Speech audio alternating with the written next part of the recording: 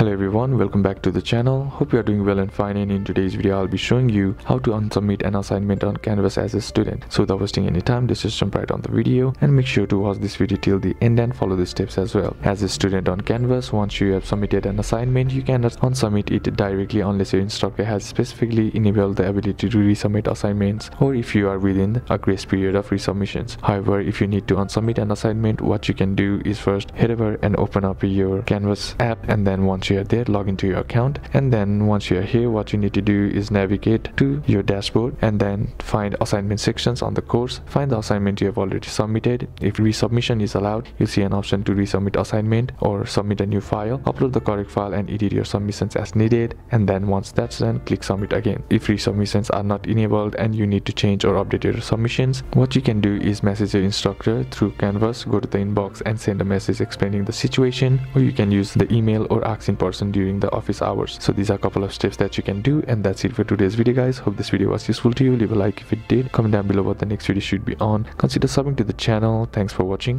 bye bye